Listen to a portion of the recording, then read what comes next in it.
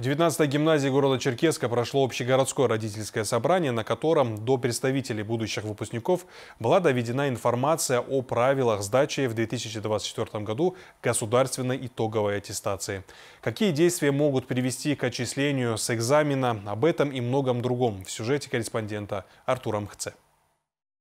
Сегодня мы попросили вас прийти на общегородское родительское собрание для того, чтобы ознакомить вас с порядком проведения государственной итоговой аттестации 2024. С 1 сентября прошлого года в России начали применять новый порядок проведения государственной итоговой аттестации по школьной программе. Чтобы введенные новшества не стали для без пяти минут выпускников и их родителей неприятным сюрпризом, представители образовательных ведомств организуют собрания, где рассказывают обо всех нюансах тех или иных требований.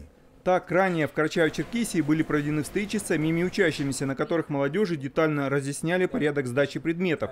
Впрочем, школьники и в прошлые годы знали, что можно и чего нельзя делать на экзамене.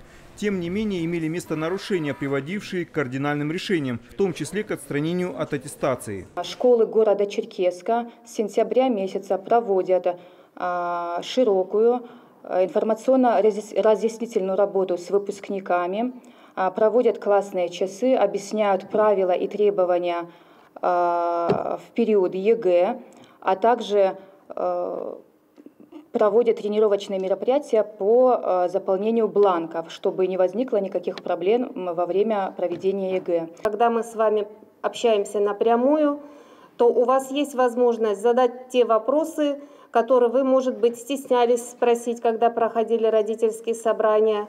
Может быть, они у вас возникли чуть попозже после собрания, поэтому у вас сегодня есть возможность задать все вопросы, чтобы проведение государственной итоговой аттестации для ваших детей, для выпускников школ прошло в штатном режиме без сбоев, чтобы все выпускники получили по итогу аттестат за курс среднего общего образования. Когда необходимо окончательно определиться с выбором дисциплин для сдачи экзаменов, за что высока вероятность быть отчисленным с аттестацией, когда можно пересдать предмет. Кому-то из родителей данные на этот раз разъяснения наверняка пригодятся. Впрочем, в век информационных технологий обо всем можно еще раз ознакомиться на официальных ресурсах Федерального образовательного ведомства. Артур Мухце, Алибастанов, Вести, Карачаево-Черкесия.